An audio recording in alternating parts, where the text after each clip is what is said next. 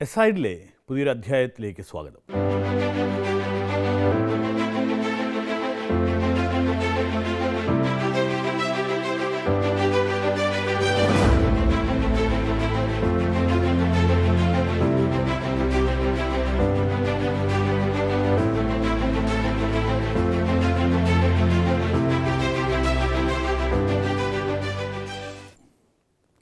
ഇന്ന് നമ്മുടെ വിഷയം കർഷക നിയമങ്ങളും ദില്ലി ചലോ എന്ന പ്രക്ഷോഭവുമാണ്.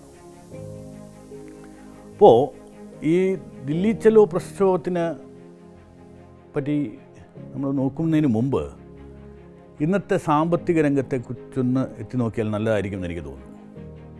ഇന്ന് നമുക്കെല്ലാവർക്കും അറിയാം നമ്മുടെ stock market stock exchange Sensex അതിന്റെ ഏറ്റവും വലിയ ലെവൽസിലേക്ക് എത്തിപ്പെട്ടി നിൽക്കുകയാണ്. നാൽപ്പത്തി ആറായിരം പോയിൻസോളം എത്തി നിൽക്കുകയാണ്. അതിനകത്ത് തന്നെ ഏറ്റവും ഒരു ഇമ്പോർട്ടന്റ് ആയിട്ടുള്ളൊരു കാര്യം എന്ന് പറയുന്നത് ഈ നിഫ്റ്റി ഫിഫ്റ്റി എന്ന് പറയുന്ന ഒരു അൻപത് കമ്പനികളുടെ ഒരു ഡെറ്റിന്റെ ഒരു തോത് നോക്കുകയാണെങ്കിൽ നമുക്ക് മനസ്സിലാക്കാം. ഇത് ഈ കഴിഞ്ഞ ഒരു പത്തോ ഇരുപതോ മുപ്പതോ വർഷ കാലഘട്ടത്തിന്റെ ഏറ്റവും കുറച്ച് ആയിട്ട് ഏറ്റവും ഏറ്റവും കുറഞ്ഞ നിരക്കിലാണ്. ഈ ഈ ഈ കമ്പനികളുടെ ഒരു ഫിഫ്റ്റി കമ്പനീസിന്റെ കടബാധ്യത നിൽക്കുന്നത്. അപ്പോൾ അതിൽ നിന്ന് അർത്ഥം എന്താ? ഈ ഈ പറയുന്ന വലിയ കമ്പനീസിലെല്ലാം വളരെ നല്ല ക്യാഷ് അല്ലെങ്കിൽ ഇനി കൂടുതൽ ഇൻവെസ്റ്റ്മെന്റ് ചെയ്യാൻ പാകത്തിന് നിൽക്കുന്ന കൂടുതൽ ലിവറേജ് ചെയ്യാൻ പറ്റുന്ന ഒരു പാകത്തിൽ നിൽക്കുന്ന ഒരു സമയമാണ്. യു എൻ ഡി പി പോലുള്ള ഇന്റർനാഷണൽ ഓർഗനൈസേഷൻസ് പറയുന്നു ഭാരതമായിരിക്കും ഏറ്റവും കൂടുതൽ വളർച്ചാ നിരക്ക് കൈവരിക്കുന്ന ഒരു രാജ്യമെന്ന് നമ്മുടെ എസ് എം ഇ സെക്ടർ എന്നൊരു ആത്മനിർഭർ ഭാരത് എന്നുള്ള ആ ഒരു തലത്തിലേക്ക് നമ്മൾ ചൈനയും മറ്റുമൊക്കെ ഉണ്ടായിരുന്ന ആ ഇമ്പോർട്ടിൽ നിന്റെ ആ ഒരു ഒരു ഒരു പിടിയിൽ നിന്നും വിട്ടുമാറി വളരെ ശക്തമായ രീതിയിൽ അതിന്റെ ഒരു വളർച്ചയിലേക്ക് വരുന്ന ഒരു സമയമാണ്. ഭാരതത്തിലെ മാനുഫാക്ചറിങ് സെക്ടർ വളരെ വേണ്ട വേണ്ടവണ്ണം ഒരു ഒരു ഒരു ആപ്പിളോ അല്ലെങ്കിൽ സാംസങ്ങോ എന്നൊക്കെ പറയുന്ന ഇലക്ട്രോണിക് ഭീമന്മാർ ഇവിടെ വന്ന് പ്രൊഡക്ഷൻ തുടങ്ങുന്ന കാലഘട്ടമാണ്.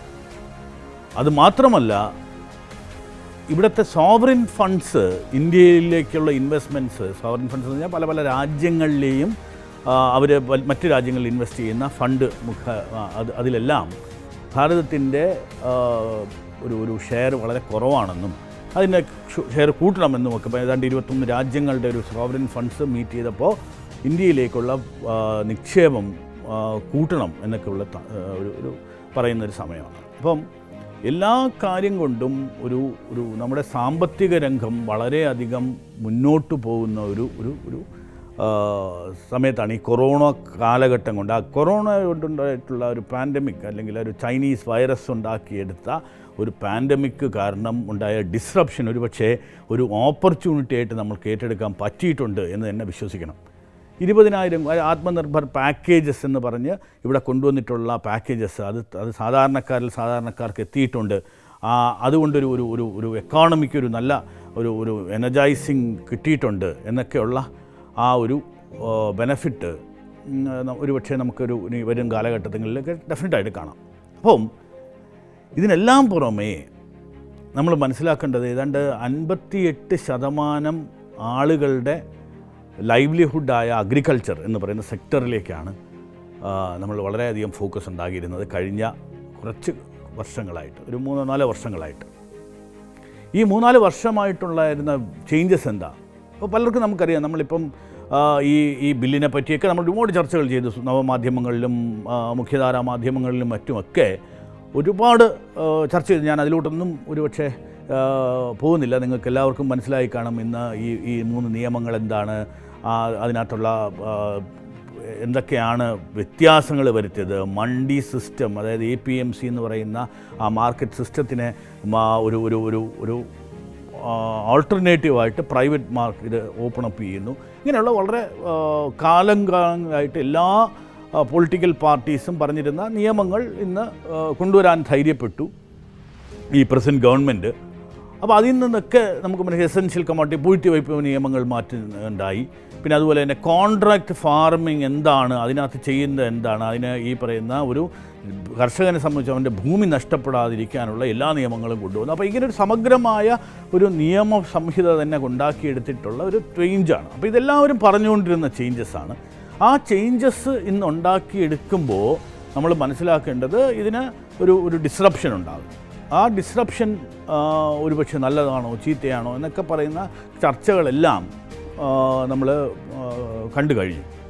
അപ്പോൾ ഇതിനകത്ത് എന്താണ് ഈ മണ്ടി സിസ്റ്റത്തിന്റെ ഒരു ഒരു ലെഗസി നോക്കുകയാണെങ്കിൽ ഇതൊരു ഒരു പക്ഷേ ഒരു പഴയ ഫ്യൂഡൽ ലാൻഡ് ലോഡ് സിസ്റ്റം ബ്രിട്ടീഷുകാർ ഏർപ്പെടുത്തിയിരുന്ന ഒരു ലാൻഡ് ലോഡ് സിസ്റ്റത്തിന്റെ ഒരു ഒരു തുടർച്ചയാണ്. പാകിസ്ഥാനായിട്ട് മാറിയപ്പോഴത്തേക്ക് പാകിസ്ഥാൻ അവർ ആ ഫ്യൂഡൽ സിസ്റ്റം കണ്ടിന്യൂ ചെയ്തു.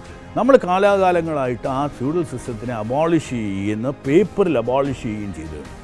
എന്നാൽ ആക്ച്വലി ഈ പറയുന്ന ഒരു ഒരു വടക്കൻ സംസ്ഥാനങ്ങൾ പഞ്ചാബ് ആകട്ടെ ഛത്തീസ്ഗഡ് ഹരിയാന എന്നൊക്കെ പറഞ്ഞ സംസ്ഥാനങ്ങളിൽ ഇത് നിലനിന്നു. ഇപ്പോഴത്തെ പുതിയ ലാൻഡ് ഫ്യൂഡൽ സംവിധാനം എന്ന് പറയുന്നത് പൊളിറ്റിക്കൽ ഫ്യൂഡലിസമാണ് ഈ പൊളിറ്റീഷ്യൻസ് തന്നെ ഇതിനകത്ത് അധികാരം കൈയെടുത്തു ഒരു ഗുണ്ടാ സിസ്റ്റം തന്നെ വന്നു. അപ്പോൾ എ പി എം സി എന്നൊക്കെ പറയുന്ന മണ്ടികൾ ഗവൺമെന്റ് ഒരു നിയമപ്രകാരം കൊണ്ടുവന്നെങ്കിൽ പോലും ഇന്നും ഈ പറയുന്ന ഉള്ളിയുടെ വില രണ്ട് രൂപയും ഒരു രൂപയും ഇവർ വഴിയിലിട്ട് റോഡ് റോളറിട്ട് നശിപ്പിച്ച് കളയുന്ന ഒരു രീതിയിലേക്ക് വന്നു. ഇത് ആർക്കും ഒരു പ്രോസസ്സിങ്ങോ ഉള്ള കാര്യങ്ങളോ ഉണ്ടായിട്ടില്ല. പക്ഷേ കഴിഞ്ഞ കുറച്ച് കാലങ്ങളായിട്ട് നമ്മൾ നോക്കുകയാണെങ്കിൽ നമ്മുടെ റോഡ് ഇൻഫ്രാസ്ട്രക്ചറിൽ ഇൻവെസ്റ്റ്മെന്റ് ആകട്ടെ കഴിഞ്ഞ ബഡ്ജറ്റിലൊക്കെ തന്നെ വളരെ ശക്തമായ ഇന്റർവെൻഷൻ പറഞ്ഞിരുന്നത് ഒരു കൂൾ ചെയിൻ കൂൾ ചെയിൻ എന്ന് പറയുന്ന കൂൾ സ്റ്റോറേജസ് മാത്രമല്ല വെയർ ഹൗസസ് മാത്രമല്ല.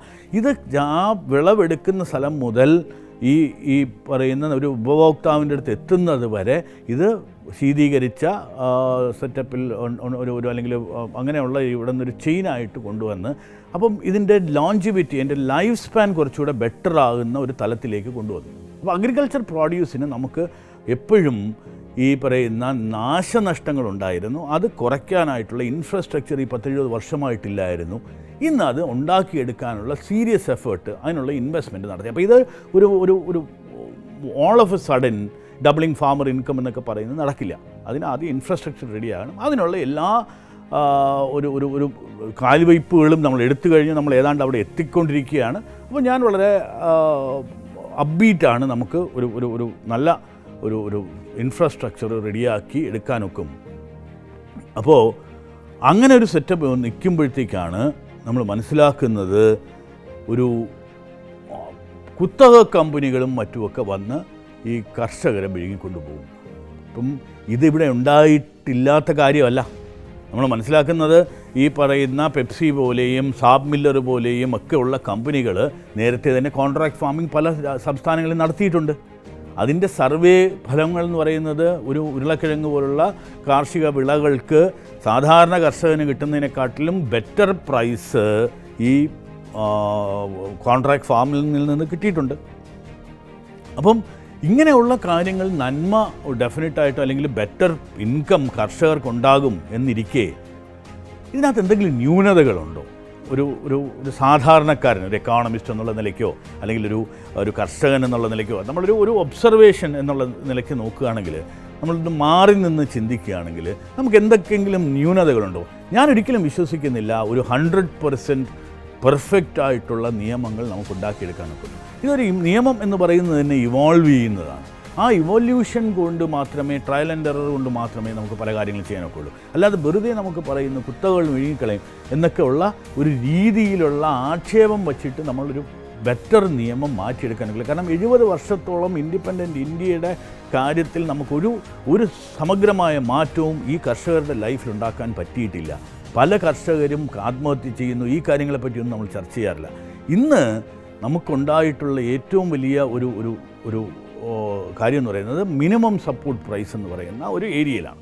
അപ്പോൾ എന്താണ് ഈ മിനിമം സപ്പോർട്ട് പ്രൈസ്? അതായത് ഗവൺമെന്റ് പറയുന്നത് നിങ്ങൾ ഇത് പറയുന്ന കാർഷിക വിളവുണ്ടെങ്കിൽ വെളിയിൽ കിട്ടുന്ന പ്രൈസ് ഇതാണെങ്കിൽ അതിന് മിനിമം ഞങ്ങൾ ഇത്രയും തന്ന് വാങ്ങിച്ചോളാം. അപ്പോൾ ഇതിനൊക്കെ ഒരുപാട് കറപ്ഷനും മറ്റുമൊക്കെ നടന്നിട്ടുണ്ട്. അതായത് പലപ്പോഴും ഈ കളക്ഷൻ സെന്റേഴ്സിൽ ഇവർക്ക് സ്റ്റോറേജ് സൗകര്യം ഇല്ല എന്ന് പറയും. അങ്ങനെ പ്രൈവറ്റ് മണ്ടിയിൽ കൊണ്ട് വിൽക്കാൻ പറയും. എന്നിട്ട് ഈ പണം ഇവർ ഇവർ തന്നെ തിരിച്ച് അപ്പോൾ ഇങ്ങനെ ഒരുപാട് കറപ്റ്റ് പ്രാക്ടീസസ് ഉണ്ടായിരുന്ന ഒരു സെറ്റപ്പാണ് ഈ മണ്ടി. അപ്പോൾ പാർലമെന്ററി കമ്മിറ്റി പോലും ഉണ്ടായിരുന്ന പല രാഷ്ട്രീയ പാർട്ടികളുടെയും പ്രതിനിധികളുണ്ടായിരുന്ന പാർലമെന്ററി സ്റ്റാൻഡിംഗ് കമ്മിറ്റി പോലും വളരെ സ്കേറ്റിംഗ് ആയിട്ടുള്ള റിപ്പോർട്ട് ഉണ്ടാക്കിയിട്ടുണ്ട്. ഈ മണ്ടി സിസ്റ്റം എന്ന് പറയുന്നത് നവീകരിക്കേണ്ടതോ അല്ലെങ്കിൽ അബോളിഷ് ചെയ്യേണ്ടതോ അല്ലെങ്കിൽ ഇതിനെപ്പറ്റി ഇതിന്റെ ഇൻഫ്രാസ്ട്രക്ചർ എന്ന് പറയുന്നത് വളരെ വളരെ മോശമാണെന്നും ഇതിന് കർഷകർക്ക് യാതൊരു ബെനിഫിറ്റ് ഇല്ല എന്നുള്ള രീതിയിലൊക്കെ ഉള്ള റിപ്പോർട്ടുകൾ വന്നിട്ടുണ്ട്. അപ്പോൾ ഇന്ന് ഈ മിനിമം സപ്പോർട്ട് പ്രൈസ് ആണ് നമ്മൾ എല്ലാവരും പറയുന്നത്. ഇത് വളരെ കൺഫ്യൂസിംഗ് ആണ്. മിനിമം സപ്പോർട്ട് പ്രൈസ് ഇതൊരു തരം സബ്സിഡി പോലെയാണ്. മാർക്കറ്റിൽ കിട്ടുന്നതിനേക്കാൾ ബെറ്റർ പ്രൈസ് ആയിരിക്കും ഗവൺമെന്റ് തരുന്നത് എന്നുള്ള രീതിയിൽ ഒരു ഒരു സബ്സിഡൈസിങ് ആണ്. ഈ സബ്സിഡി ആക്ച്വലി പാർലമെന്റിൽ എനിക്ക് തോന്നുന്നു രാജീവ് ഗാന്ധി പ്രധാനമന്ത്രി ആയിരുന്നപ്പോൾ പറയുകയുണ്ടായി ഒരു രൂപ ഒരു ഒരു സബ്സിഡി രീതിയിൽ അല്ലെങ്കിൽ ഒരു ഒരു സോഷ്യൽ വെൽഫെയർ ആക്ടിവിറ്റിക്ക് പോകുകയാണെങ്കിൽ ഏതാണ്ട് പതിനഞ്ച് പൈസയോ പതിനെട്ട് പൈസയോ മറ്റോ ആണ് ഒരു സാധ്യത ബെന റിയൽ ബെനഫിഷ്യറിക്ക് കിട്ടുന്നതെന്ന്. അത് തന്നെയാണ് ഇവിടെയും സംഭവിക്കുന്നത്. ഈ എം എസ് പിയുടെ ഒരു ഫുൾ ഫുൾ ബെനഫിറ്റ് ഒരു ആക്ച്വൽ കർഷകന് കിട്ടാറില്ല എന്ന് തന്നെയാണ് ഒരു നിഗമനം. മാത്രമല്ല ഈ മണ്ടികളൊന്നും പൊളിറ്റിക്കൽ ആയിട്ടുള്ള ആളുകൾ തന്നെയാണ് വന്ന് നിയന്ത്രിക്കുന്നത്. അതിനും ഒന്നും ഒരു ഒരു ഇവർക്ക് ആർക്കും ഒരു റൈറ്റ് ഇല്ല. മാത്രമല്ല ഇതൊരു മണി ലെൻഡിങ് സിസ്റ്റം ഈ ജമീന്ദാർ സിസ്റ്റമൊക്കെ മാറ്റിയെങ്കിൽ പോലും ഇതൊരു പുതിയ സിസ്റ്റം വന്നു. ഈ പൊളിറ്റിക്കൽ ജമീന്ദാരി ഉണ്ടായി ആ പൊളിറ്റിക്കൽ ജമീന്ദാരിയിലാണ് അവിടുത്തെ ഇലക്ഷൻ നടത്തുന്നത് പൊളിറ്റിക്കൽ ഫണ്ടിങ് നടക്കുന്നത്. അപ്പോൾ ഇതിനെ തച്ച് തകർത്തു എന്നുള്ളതിൽ കൊണ്ടാണ് ഒരുപക്ഷെ ഇന്ന് നമ്മൾ കാണുന്ന പ്രക്ഷോഭം. അപ്പം ഇതിനകത്തൊരു ഒരു തിരുത്ത് വരണമോ അല്ലെങ്കിൽ ഒരു അമെൻമെന്റ് വരണമോ എന്ന് അടുത്ത് ചോദിക്കുകയാണെങ്കിൽ ഒരു കോമൺ മാൻ എന്നുള്ള രീതിയിൽ എനിക്ക് തോന്നുന്നത് നമ്മൾ ഈ പറയുന്ന ഒരു ഫിയർ അലൈ ചെയ്യാനായിട്ട് അതിനെ മാറ്റം വരുത്താനായിട്ട് ഒരു ഫ്ലോർ പ്രൈസ് ഫിക്സ് ചെയ്യുന്നത് ഒരു ക്രോപ്പിന്റെയൊക്കെ എല്ലാ ഡേറ്റയും നമ്മുടെ കയ്യിലുണ്ട്. ഈ ഡേറ്റ ഉള്ള സ്ഥിതിക്ക് നമുക്ക് ഇൻപുട്ട് കോസ്റ്റും മറ്റും അറിയാൻ പോകും. ഒരു ഒരു കമ്പനി വന്ന് ഇത് വാങ്ങിക്കുകയാണെങ്കിൽ ഇതൊരു മിനിമം ഇപ്പോൾ നമ്മൾ മാക്സിമം റീറ്റെയിൽ പ്രൈസ് എന്നൊക്കെ പറയുന്നത് പോലെ ഒരു പ്രൈസ് ഫിക്സ് ചെയ്യുക ഓരോ വിളകൾക്കും. അത് തന്നെയായിരിക്കും ഒരുപക്ഷെ ഒരു നിയമപരമായി ഗവൺമെന്റിന് കൺസിഡർ ചെയ്യാനൊക്കുന്ന ഒരു കാര്യം. അതുപോലെ തന്നെയാണ് ഇതിനകത്ത് കരാർ കൃഷി നടത്തുമ്പോൾ തർക്കങ്ങളുണ്ട് എല്ലാ കരാറുകൾക്കും നമുക്കറിയാം തർക്കങ്ങളുണ്ടാകാം.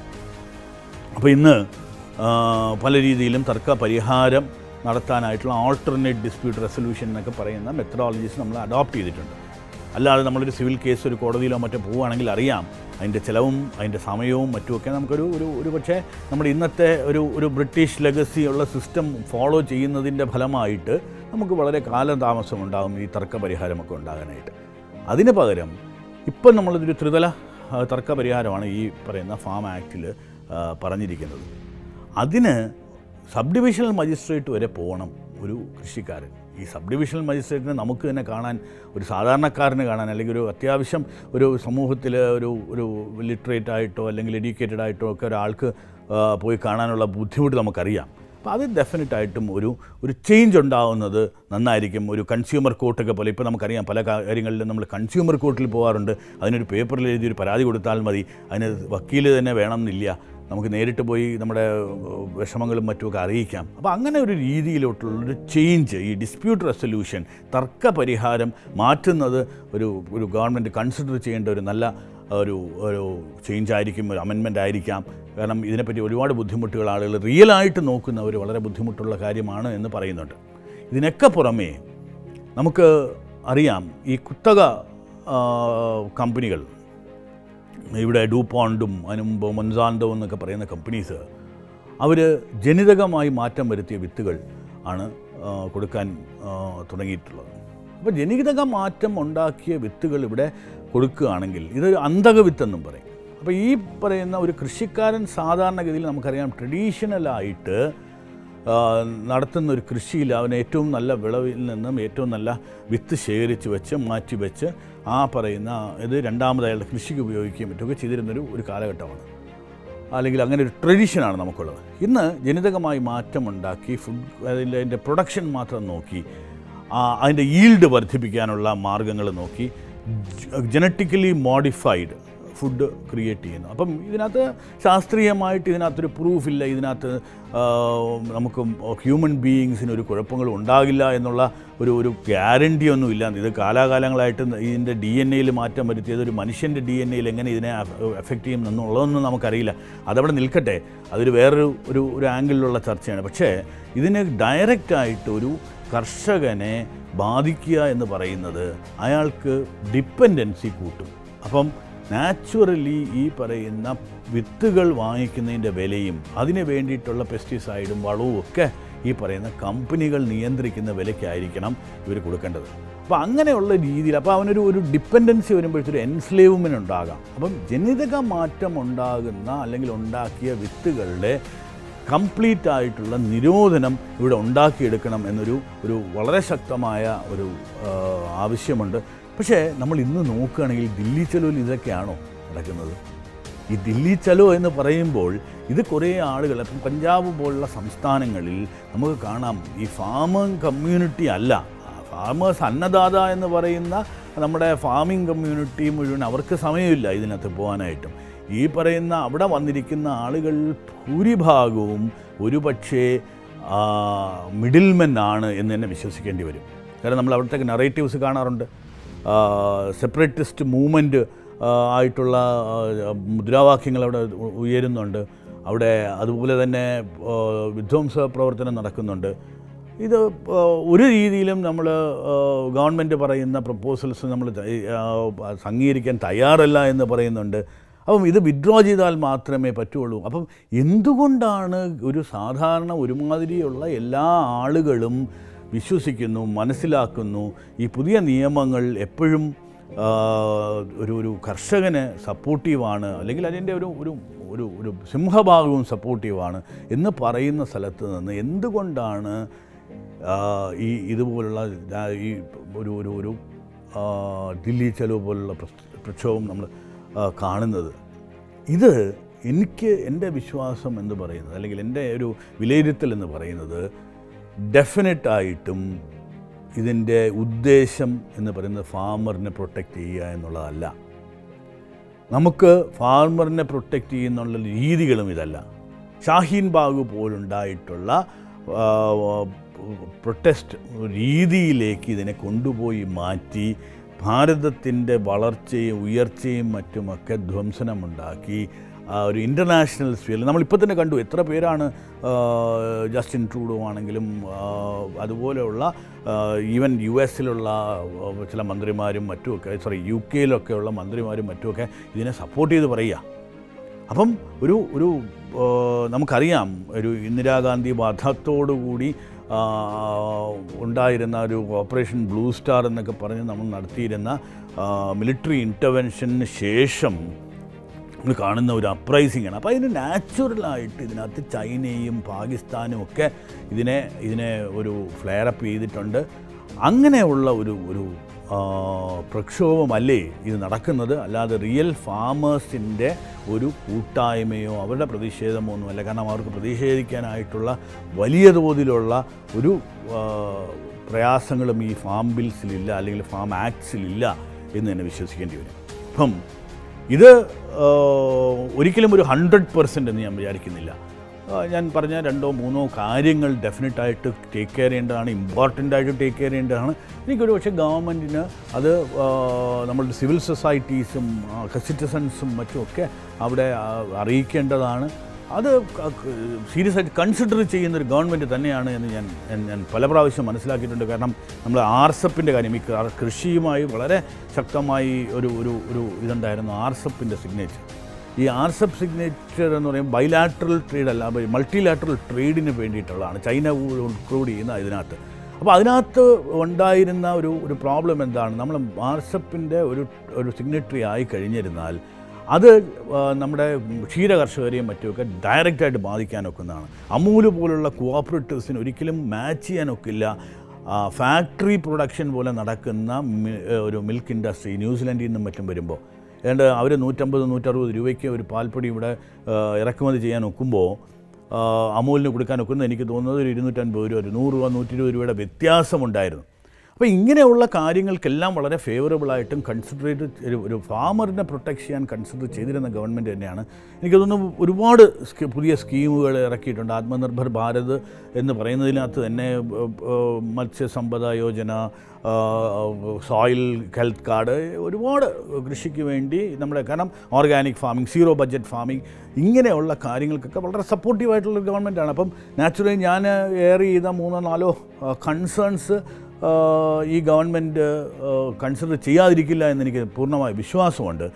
പക്ഷേ നമ്മൾ we should not be supporting the middle men we should support the farmer എന്നാണ് എനിക്ക് പറയാനുള്ളത്. നമ്മൾ കൃഷിക്കാരെ സപ്പോർട്ട് ചെയ്യും. പക്ഷേ ഇടനിലക്കാരെ അല്ല നമ്മൾ സപ്പോർട്ട് ചെയ്യേണ്ടത്. ഇവിടെ നടക്കുന്ന ഇന്നത്തെ ദില്ലി ചലോ പോലുള്ള പ്രക്ഷോഭങ്ങൾ രാഷ്ട്രീയ പ്രേരിതമാണ് അതിനകത്ത് രാഷ്ട്രവിരുദ്ധ ശക്തികളാണ് അതുപോലെ തന്നെ നമ്മുടെ ഡിസ്റപ്ഷൻ ഉണ്ടാക്കുക എന്ന് പറയുന്ന ഒരു ക്രിയേറ്റീവ് ഡിസ്റപ്ഷൻ ഡിസ്റപ്ഷൻ എന്നുള്ള വാക്ക് ഇപ്പോൾ രണ്ട് രീതിയിൽ നമ്മൾ യൂസ് ചെയ്യാറുണ്ട്. പക്ഷേ ഇതൊരു ക്രിയേറ്റീവ് ഡിസ്റപ്ഷന് വേണ്ടിയിട്ടല്ല. ഒരു ഡിവൈസീവായിട്ടുള്ള ഒരു ഭാരതത്തിന്റെ ഒരു ഗ്രോത്ത് ഉണ്ടാകാതിരിക്കാൻ വേണ്ടിയിട്ടുള്ള ഒരു ഒരു ഒരു മാർഗം തന്നെയാണ് ഷാഹീൻ ബാഗിന്റെ പാർട്ട് ടു ആണ് എന്ന് ഞാൻ വിശ്വസിക്കുന്നു. അപ്പം നമുക്കെല്ലാവർക്കും വാസ്തവം പറഞ്ഞാൽ ഇതിനെപ്പറ്റി കൂടുതൽ മനസ്സിലാക്കുക. അതിനെപ്പറ്റി ഡെഫിനറ്റായിട്ട് നിങ്ങളുടെ വ്യൂസും ഒപ്പീനിയനും നിങ്ങൾ എയർ ചെയ്യുക ഗവൺമെന്റിനെ അറിയിക്കുക. പക്ഷേ നമ്മുടെ അൻപത്തെട്ട് ശതമാനം വരുന്ന പോപ്പുലേഷന്റെ ഒരു ഒരു ലൈവ്ലിഹുഡായ നമുക്കെല്ലാവർക്കും ഫുഡ് നൽകുന്ന അന്നം നൽകുന്ന ഒരു ഗ്രൂപ്പിനെ അവരെ ഒരു ലിബറേറ്റ് ചെയ്യാനുള്ള ഒരു ഒരു ആക്ടിനെ അതിന്റെ ഒരു നിയമത്തെ എതിർക്കുക അല്ല ഇന്ന് ചെയ്യേണ്ടത് എന്ന് ഞാൻ പറഞ്ഞുകൊള്ളുന്നു. വേറൊരു എപ്പിസോഡുമായി ഇനി അടുത്ത പ്രാവശ്യം. താങ്ക്